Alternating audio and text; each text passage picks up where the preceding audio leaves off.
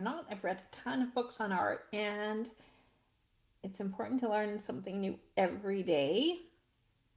In here, I'm just going to read you this one line from this, and it says, My primary goal as an educator is to teach you to be actively engaged in your world, not passively receptive to it, to be at once critical and self critical. So, this is something that's not easy for many of us because we are very attached to our own work and we are very close to it. And it's really hard to step back and look at it with different eyes. So, that is what I want to talk to you today about.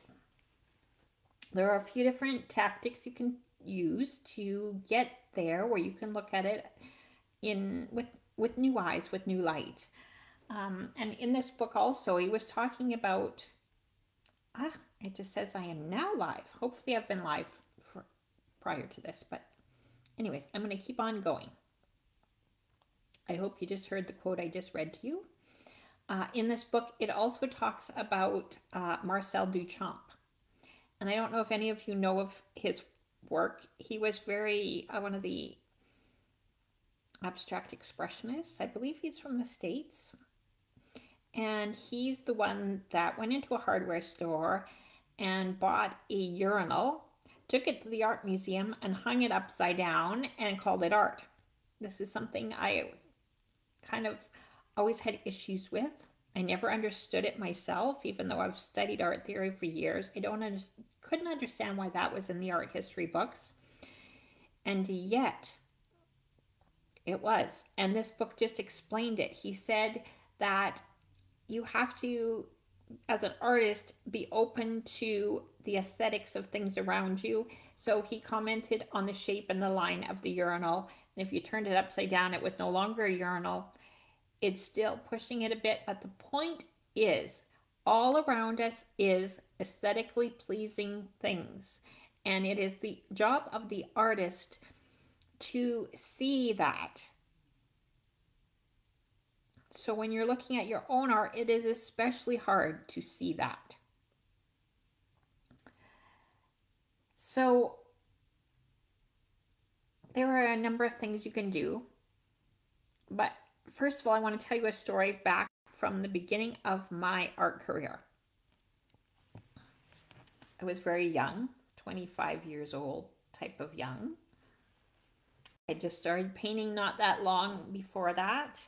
And I was very confident in my work and very self assured. And I wound up going to a very prestigious art gallery in Vancouver named the Harrison Art Galleries. And I walked in and I asked if they would be willing to look at my paintings. And the owner of the gallery, his name was Christopher Harrison, was incredibly gracious because that is not how it is done. Normally, you phone ahead and you book an appointment and you make set time aside for the them to look at your work. That's technically. But I was young and I was confident and I really thought a lot about my paintings. And this man very graciously took me in and said, Yes, bring me your paintings. I would be happy to look at them. And he spent an entire hour with me that day, and I am forever grateful. It was one of those changing moments in my career. I learned a tremendous amount from this gallery owner. And I wrote him a letter years later to thank him for taking the time out with me because I thought my paintings were really good, but he opened my eyes at looking at them in a different way, and he did it very respectfully and very graciously and with kindness. And he spent over an hour with me, and he took my paintings uh, in the gallery, and he looked from one, he hung them in one spot, and then he turned the lights up, and then he had it on a dimmer switch, and he turned the lights down. And then he turned it up, then he turned it down and he kept looking at it in different lights. And I didn't really understand what it was he was doing.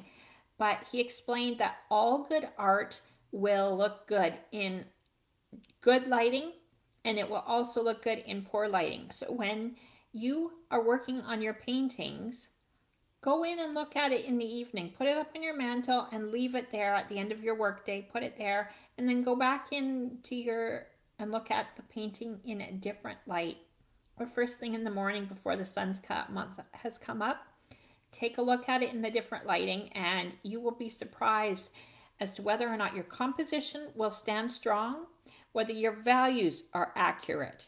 Those are incredibly important, whether your shapes are in the right place.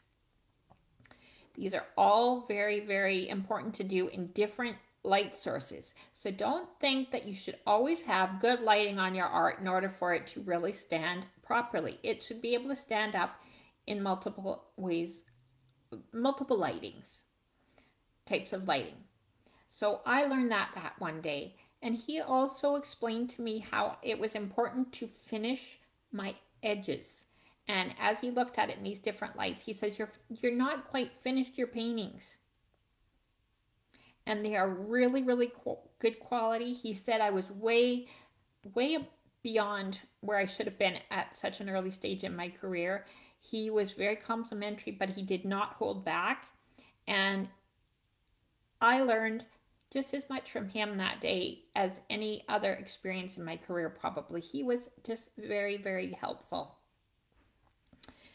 So, one day, maybe I will fill you in on what the result came of that hour long meeting with Christopher Harrison.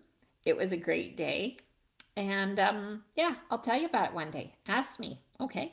Don't let me forget and I'll fill you in on the what what what the end results were.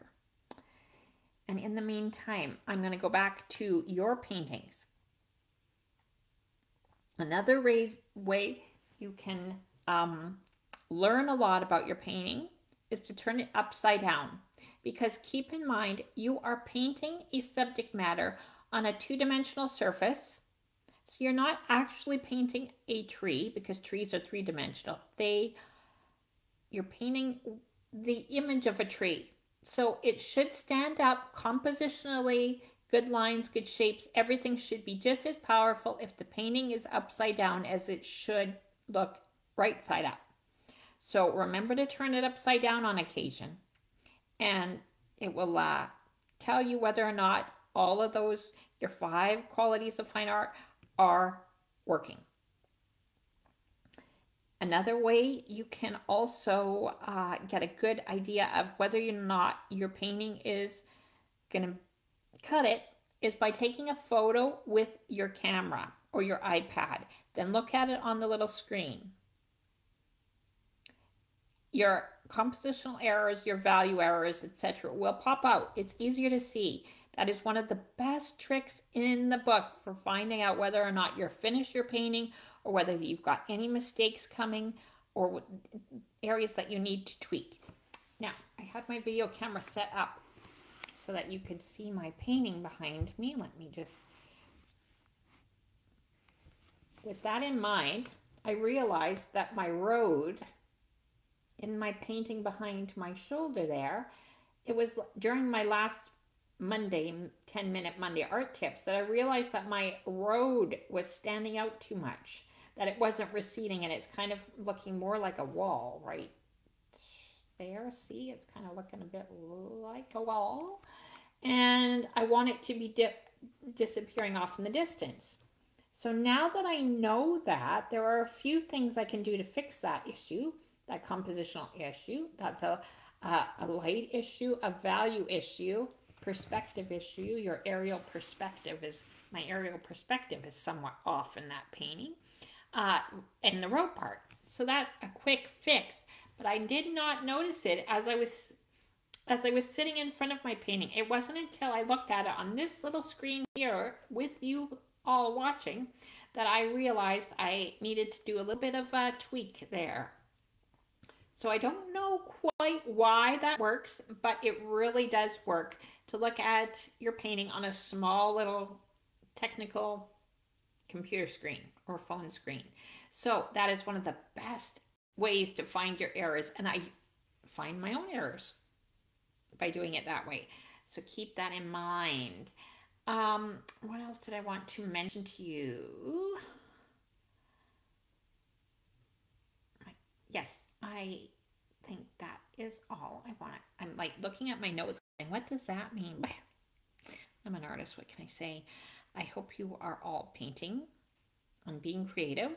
The sun is starting to shine here in Kimberley, and I hope it's shining wherever you are. I hope you can get out and get some creative ideas, get some inspiration. And I want to thank you again for everybody that has signed up for our group here on Facebook, the Caprice Fine Artist Community. We have, even since last Monday, I think we've got 20 more new follow uh, group members. I welcome you all and please take a time to introduce yourself. We all want to know who you are. Uh, a lot of my 10 minute art tips are focused primarily on artists, but I also want to hear from those of you who are not artists and who are here to appreciate art. What kind of art do you like? What kind of art would you like to see?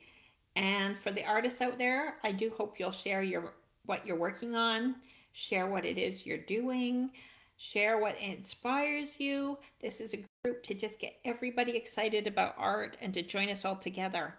Let me just see, I've got a notification here. Let me see, did anybody? No, okay. Um, nobody is commenting, so I have no, I hope you're all great. If you liked this video, please do leave a comment in the comment section.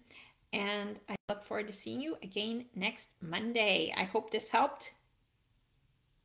Have a good week and take care. Bye for now.